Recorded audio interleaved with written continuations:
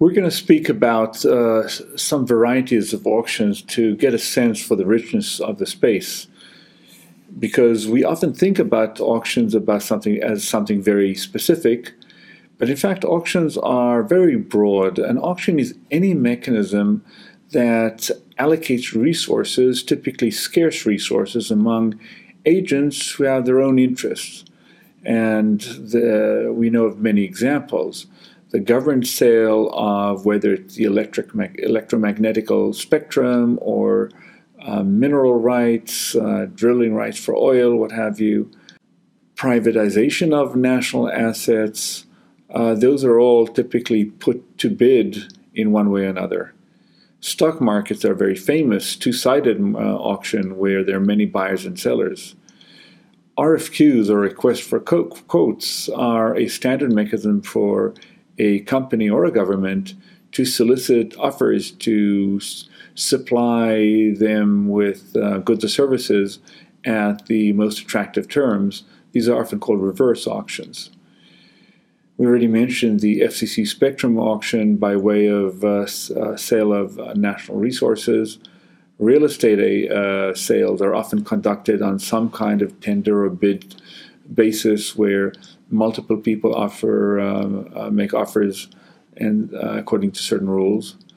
And certainly consumer-based uh, re- uh, auctions such as the ones conducted on ebay are very famous where everything from cars to to old CDs are are sold. There are many other examples and um, we should bear in mind that often uh, the uh, goods being sold are, are uh, not necessarily the uh, standard ones you think of in auctions.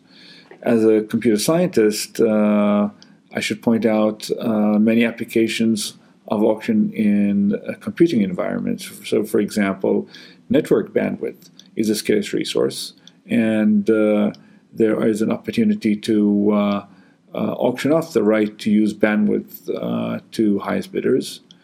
In um, uh, advertising auctions, famously on Google and other advertising uh, platforms, uh, advertisers bid for the right to present us with certain uh, offers when we search for certain keywords, or even when we just browse certain web pages, there are display advertising, and they too are uh, open for, for bid.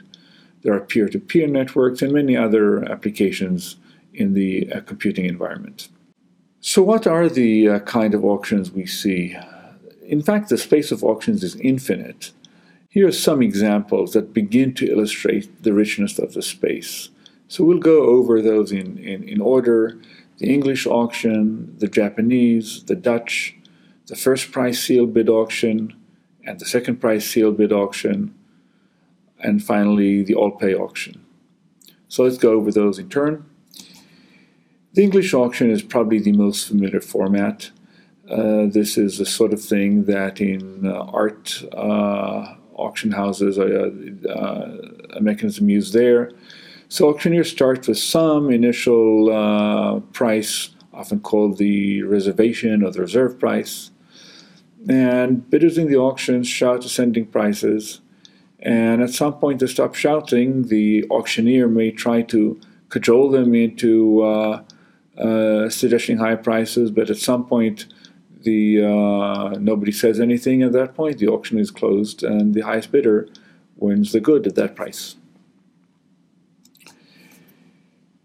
The Japanese auction uh, is a less common term, but it's uh, similar to the English auction in that it's an open outcry auction and the price ascends, except here it's the auctioneer that calls out the prices, uh, whether uh, explicitly or by some mechanism like a clock that just continuously rises.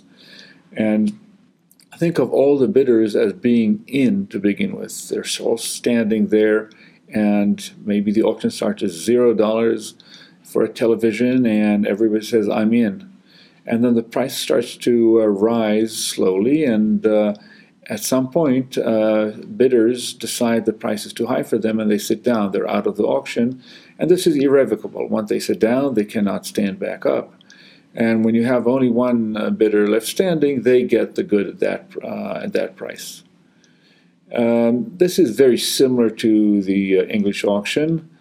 Uh, it's uh, a little easier to analyze, uh, among other things, because the price does rise continuously, and the, you don't have what you call jump bids, where somebody suddenly offers a price that's much higher than the current price, and um, and uh, if you want to think about it in terms of game representation, uh, you can imagine that in the English auction, at every point in the game, you have many branches uh, uh corresponding to the different sort of uh, uh, increases or jump bids one could give. Whereas here, the game evolves in a very in a, in a single predictable way. That is the auction that's often called the Japanese auction and staying on uh, the international theme, we have the Dutch auction. Uh, this is a more standard uh, term, and it's uh, so called because this is, in fact, the mechanism that to this day is used in the Dutch flower market.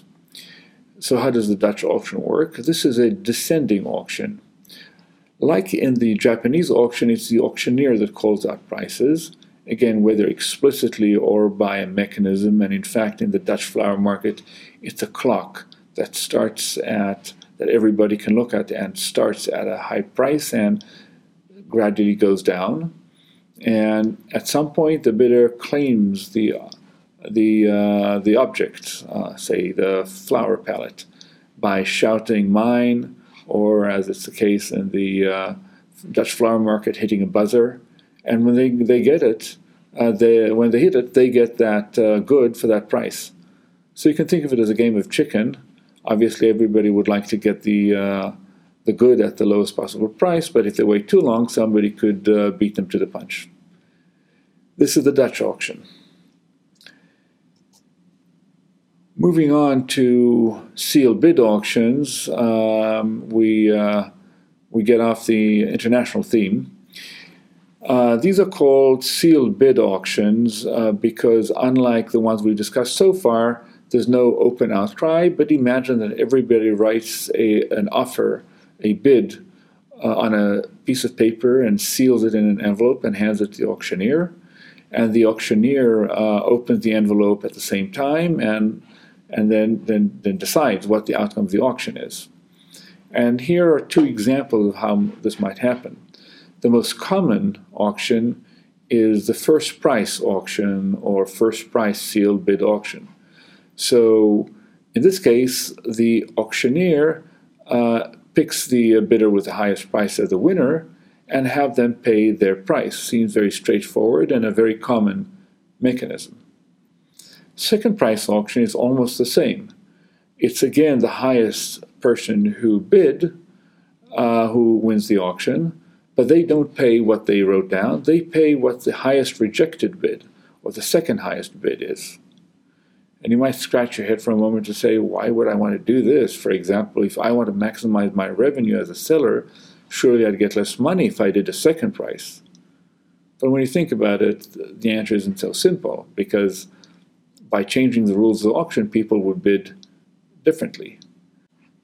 In fact, there's a famous result called the revenue equivalence theorem that shows that under certain conditions, many auction formats look very different in particular the first and second price sealed bid auctions, actually in expectation fetch the same uh, price. Here for variety, it's a very different uh, sort of auction, and uh, it's the all pay auction. And so you have a good for sale, and um, oh, maybe uh, the good is a um, maybe the good is a $20 bill. Now imagine that I auction off this $20 bill. And here are the rules.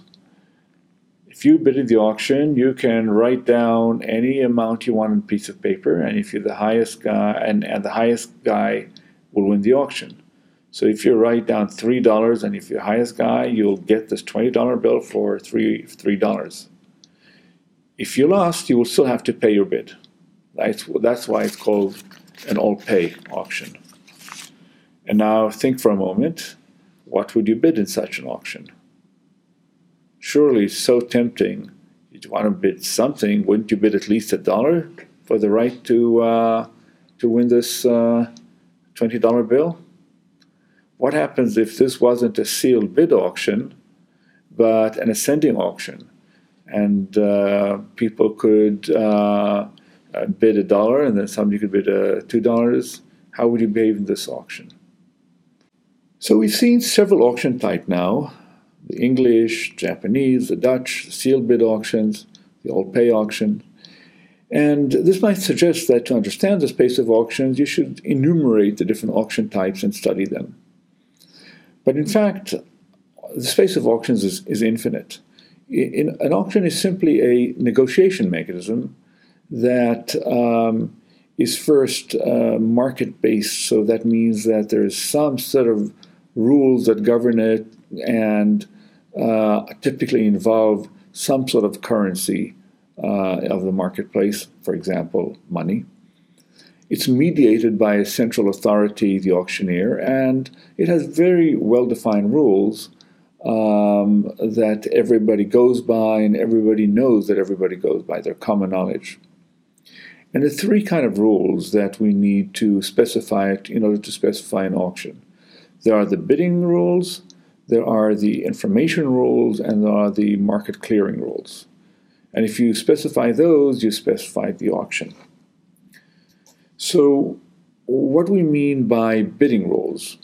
We really mean who can bid, when they bid, what they can bid, and some restrictions. Uh, there are, um, you know, uh, for example, in an, in an ascending bid auction, I have to bid the current highest price. In other auctions, I have to bid my own uh, price. Uh, we may not allow people to bid arbitrarily high. We, we may put some budget constraints. Um, bids may have expiration dates. Uh, they may, uh, may be subject to withdrawals or not, and so on and so forth. So these are all the bidding rules. Very importantly are the information disclosure rules. And for example, in a sealed bid auction, uh, we, uh, we, we, uh, when I bid, you don't see my bid. But do you know that I bid already? That's a very important information from you. Do you know who are the set of people who might be bidding? So, information dissemination here is very critical to the marketplace and has to be explicitly specified. And finally, when all is said and done, the bidding is done based on information that uh, agents do and don't have, you need to clear the market. And market clearing rules are also uh, multifaceted. There's a question of when to clear. For example, uh, you might clear the markets many times. If you have multiple goods, you may uh, clear the market once and certain set of goods will be sold and clear again another set and so on. You might, uh, for example, decide when to clear based on activities. And so in some of the online auctions, you'll see that the auction ends at noon or after uh, a period of 10 minutes of inactivity, that is, 10 minutes during which nobody placed any bid, whichever is later. It's a very interesting market uh, clearing uh, rule. So that's the, that's regarding the timing. Then the allocation and the payment. In other words, you've cleared the market. You need to say who got what. Who got, for example, in case of a single good, who got the Van Gogh, and who pays what. As we've seen, it may not only be the person who won who pays. For example, in an all-pay auction, everybody who bid pays. Once we specified all of that, we specified the auction and we're done.